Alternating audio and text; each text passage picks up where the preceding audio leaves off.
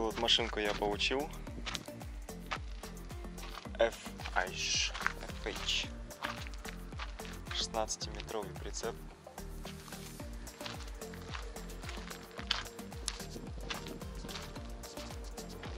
Вот так вот она достойно выглядит, по идее. Ну, есть моменты, конечно. Но машина не новая, ребят. Поэтому моменты они такие есть. Ну, давайте.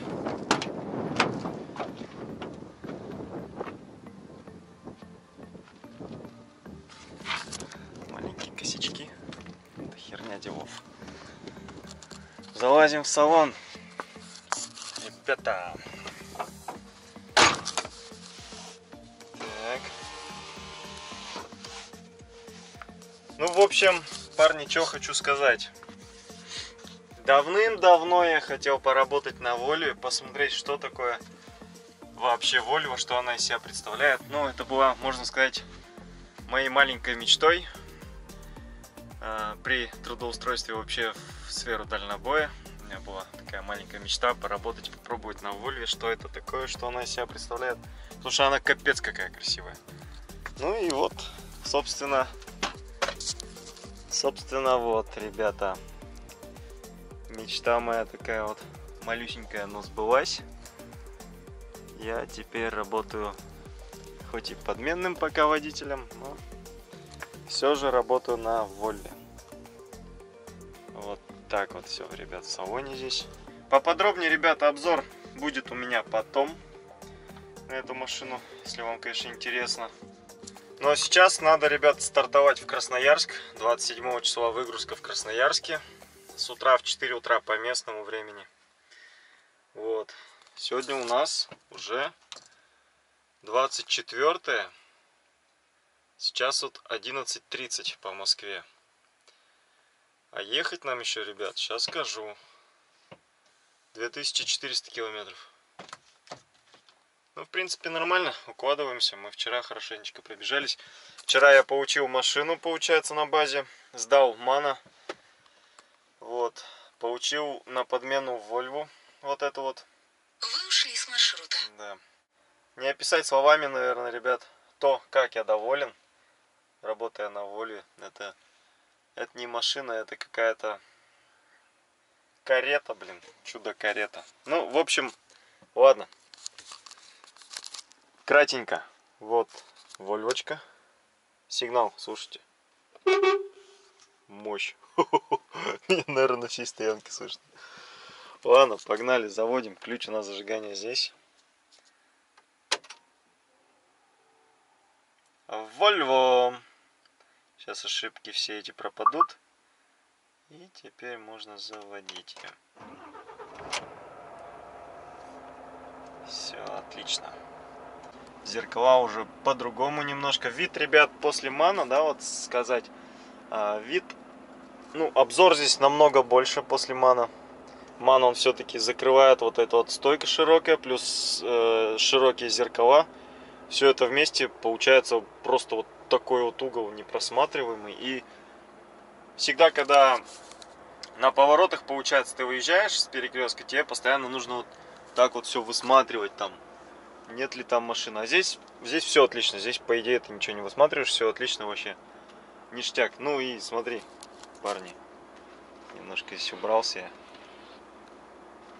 Какая панель здоровая. Офигеть. Вообще мощь.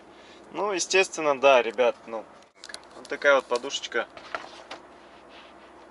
подставочка здесь находится на торпеде. Она, в принципе, не скользит, по идее, ну, не слетает за рулем, когда едешь в дороге.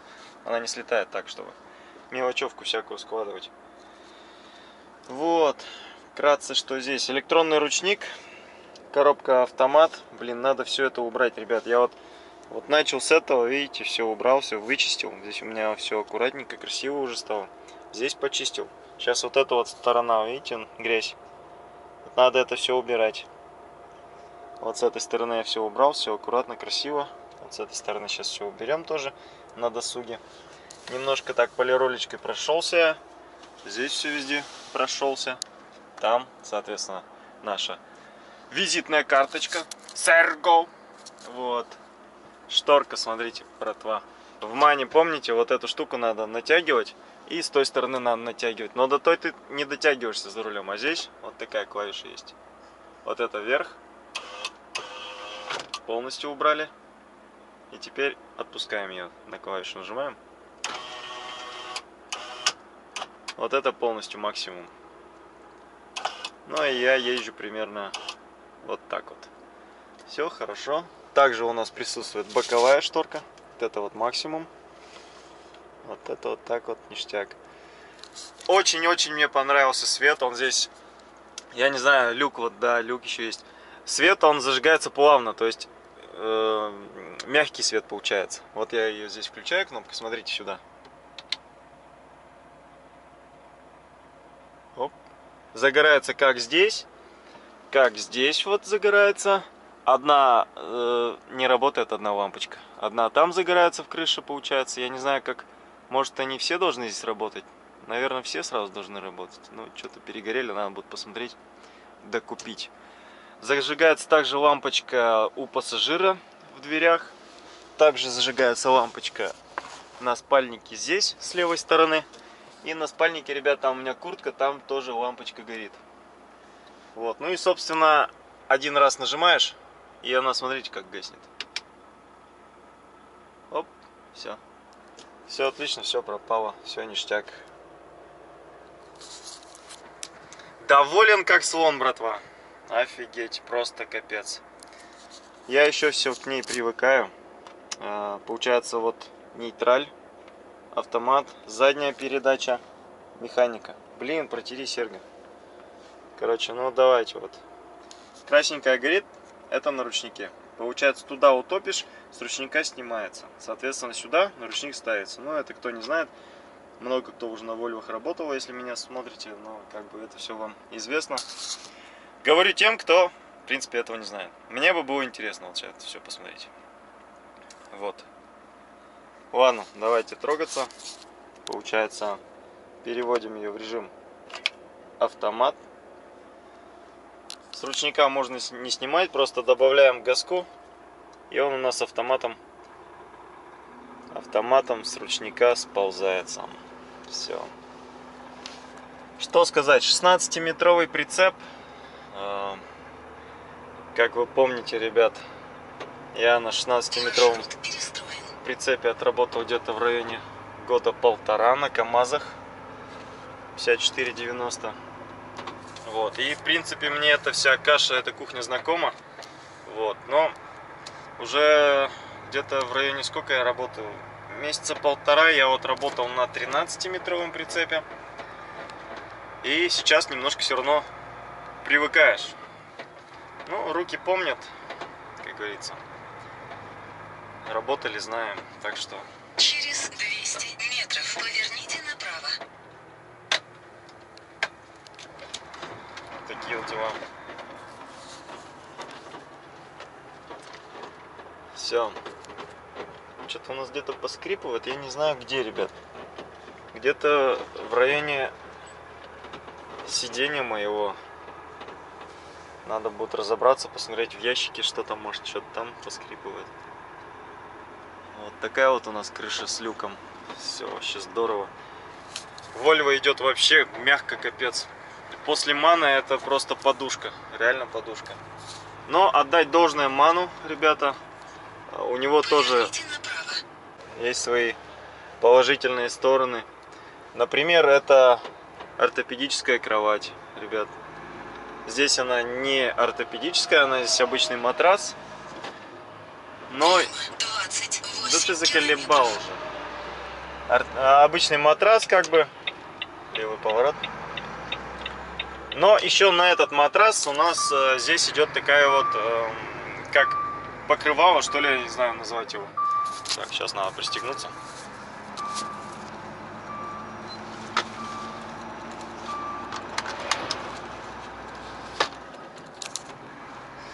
Идет как такое покрывало, я его так назову. Типа одеял, одеялка. В общем, на нем, ну, мне показалось очень уж мягко, потому что такое ощущение, что ты несколько одеял э, толстых наложил и на них лег. А снизу еще подушки на- напихал. Вот. Ну, очень мягко. В мане пожестче, но в меру жестче. Мне побольше, сказать честно, понравилась кровать мановская. Вот. Ну, здесь, в принципе, я тоже спать, спал нормально.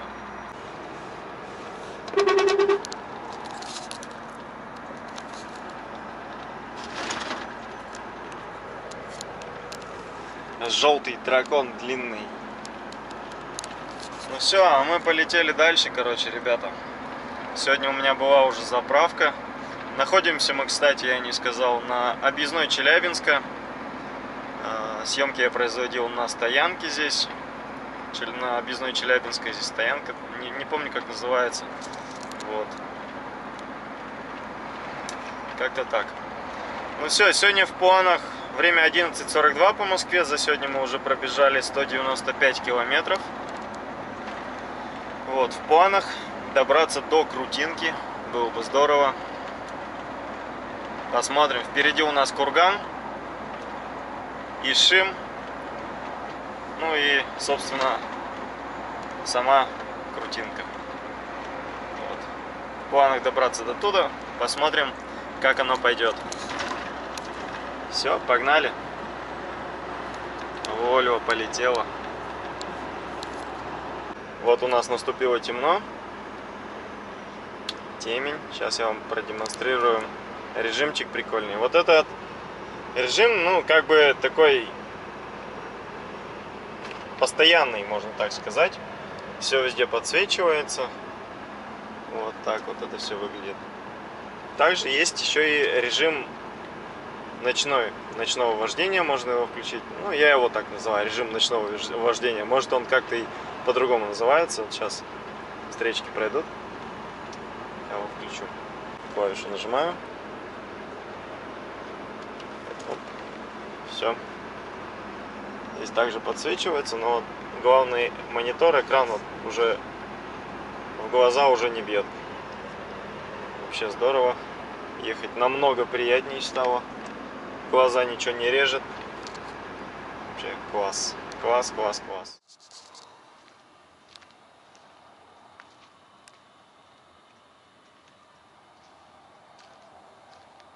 Ну все. Давайте всем доброй ночи.